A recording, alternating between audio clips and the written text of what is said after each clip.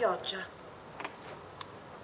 Qui la pioggia cambia il colore della città, davvero. È tutto un colore diverso.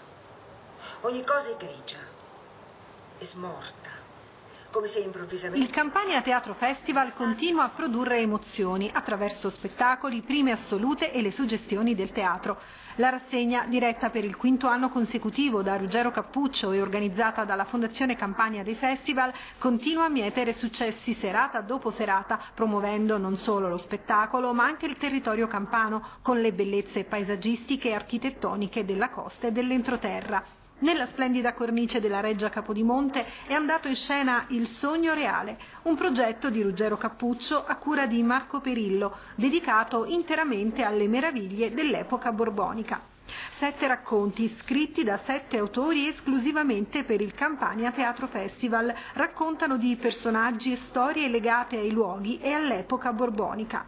Questi personaggi, con i loro intrecci e le loro vite, sono stati interpretati e raccontati da attori del calibro di Lina Sastri e Iaia Forte. Questo è un racconto ambientato in un quotidiano um, presente, napoletano, um, dove c'è molto spunto intorno alla villa versiliana, è un presente quotidiano di adesso, eh, racconto di una ragazzina che in qualche modo si trova poi diciamo, in vacanza da una zia e si ritrova poi avere, a conoscere una, una ragazza più o meno della sua età o un po' più grande di lei che le racconta della storia di una, di una ehm, diciamo mantenuta del re. Ecco, no? Ecco, quindi mh, mm, più che regine immaginarie mi sembra che sia un racconto immaginario eh, su queste regine. I Borboni ci sono, ma ehm, aleggiano molto poco in questo racconto, credo. E, mh, mm, ho sempre voluto, ho sempre desiderato fare un lavoro su Sandro Penna, che è un poeta che mi piace molto e, ehm, e quindi sono grata a Silvio Perrella di avermi dato questa occasione.